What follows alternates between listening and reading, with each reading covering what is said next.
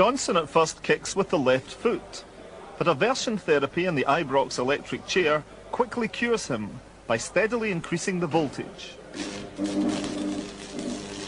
The results are remarkable, and soon he's one of the lads. Truthfully, the, the pressure, I think, is off the field. I don't think the pressure is on the field because if I'm giving Glasgow Rangers 100%.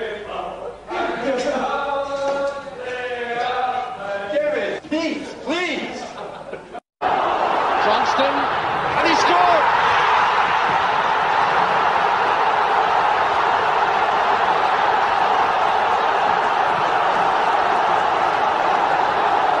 A typical Mo Johnston goal. Only two minutes remaining. And the Rangers players